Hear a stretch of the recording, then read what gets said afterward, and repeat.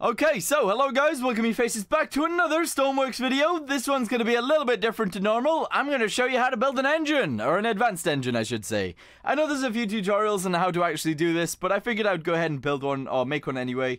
Um, all of the engines are pretty much work the same way. Um, uh, however, one of them does have two exhausts and some of them don't have two exhausts. That's pretty much the only difference, okay? So let's go ahead and jump into this and um, I'll show you guys how they work.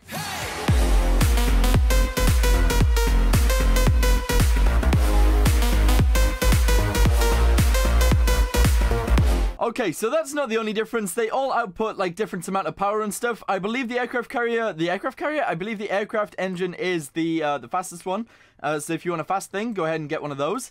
And um, yeah, they all have different power outputs. So you guys can see right here, this is the power output right there, 200,000 powers. I'm not sure what that's measured in, so there you go. Uh, this one's only 20,000 powers, and this one I believe is 60,000 powers. Yes, it is. Uh, so there you go.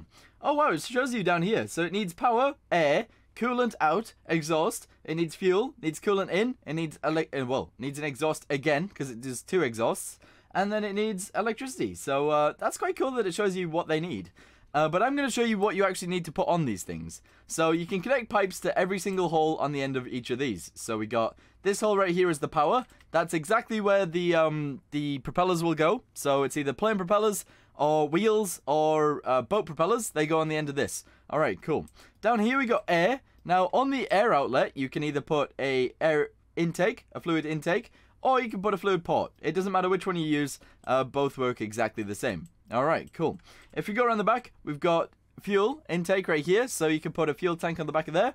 Um, basically, you just you just put a fuel tank down, um, and then you link it up using pipes, and that's that's literally all you have to do. Uh, and I will show you guys how to do this. So we'll we'll actually connect one of these together, uh, but they all work pretty much the same way. So we've got a large fuel tank right here. You can put it anywhere on your ship, anywhere on your plane. Uh, so we'll go ahead and put that right there. All right, cool. Uh, we'll go ahead and get some pipes and we'll pipe everything together, but we'll do that afterwards. So we need some of these ones, some of these ones, and that's all good.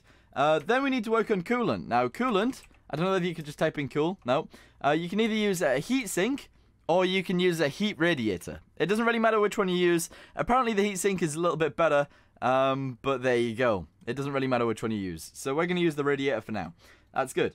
We can just go ahead and place that wherever we want. So we'll place it right there. All right, fandabby dozy, that's good. Uh, then, what you want to do is you want to have a little look, see what else we need. So we got the coolant, we got the coolant, we got an exhaust right there, and we got an exhaust right here.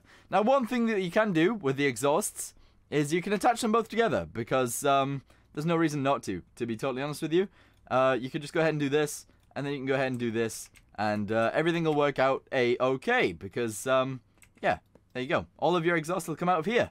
Now, if you're wondering how the exhaust works, you can either put one of these on there, you can put one of these on there, or you can put one of these, which is an exhaust pipe. Okay? So that's how those work. Um, so we'll go ahead and fix this together. We'll go ahead and put an exhaust on there. Alright, cool. Good. Then we'll connect everything together using pipes. So obviously then fuel needs to be connected to the engine. So we go ahead and we do this. Alright, there we go. Uh, the coolant needs to be attached to the engine. You, it doesn't really matter which way they go on. So um, if you're putting coolant on an engine, you just go ahead and turn this around. Put that there. You put another one over there, and you attach it to the coolant bit of the engine. So there we go. Beautiful. We'll turn this around, and we'll put it there as well. Fantastic. That's the whole back end of it done. Now, you can have these pretty much anywhere on the plane. However, um, this bit right here, the fuel tank, I think that it needs a pump if it's any longer than 10 tiles away. Um, or maybe that's in height. If you're going up 10 tiles from the fuel tank, then you'll need a pump. Uh, so there you go. You don't need a pump otherwise. So there you go. Nice. The air inlet on the front, we're going to go ahead and we're going to use one of these. And we're just going to shove this down on here, like so. Beautiful. Alright, that looks kind of cool, actually. That looks really cool. And then on the front of this thing, just as a demonstration, we're going to go ahead and get a propeller. And um, I don't know which propeller we should use, to be totally honest with you. Uh, but maybe a small one will do. So let's just go ahead and get one of these, and we'll show that it works. Alright, cool. Good. So that's a engine fully built. Alright, now what we need to do is we need some buttons and we need a throttle. Okay, there we go. Let's go ahead and get a throttle and we'll go ahead and put this here. Beautiful. Let's go ahead and get two of them and we'll go ahead and get some buttons as well. Okay, there is one thing that I've missed out here, and that is the gear ratios. Um, I'm not entirely sure how the gear ratios work myself, I'm going to be honest. Uh, however, I have made things work by doing this. So if we go ahead and we delete this, from the power output, you want to go ahead and put a clutch, okay? Once we get a clutch in, um, we can go ahead and we can add a gearbox.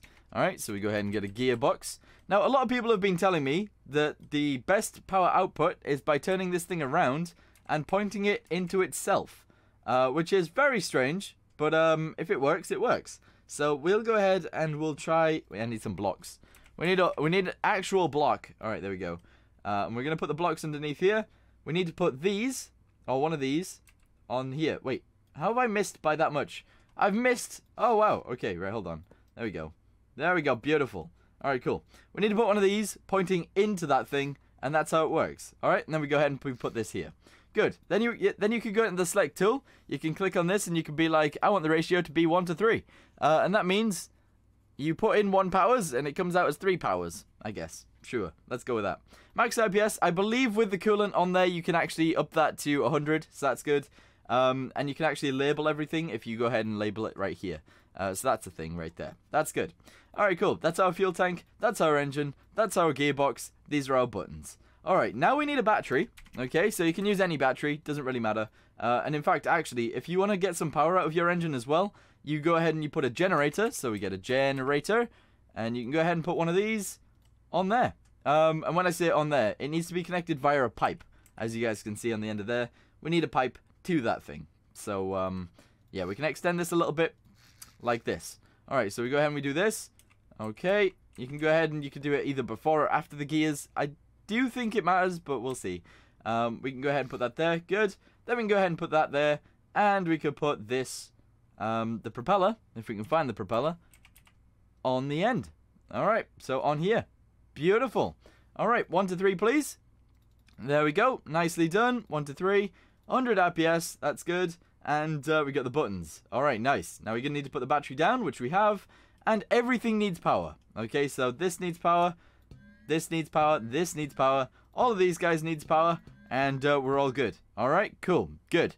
Then we need to logicify everything together. So the clutches, I mean the gear works like this. The clutch works. Oh, I didn't even put a clutch in there. Oh, I'm so dumb. Alright, hold on. Hold on. We need to put a clutch in. Oh, man. Why am I messing this up so much? Uh, but yeah, we need to put a clutch in there uh, after the T-pipe. Then we go ahead and we put one of these in. Alright, which is uh, A-OK. If I can actually make it fit. Ignore that.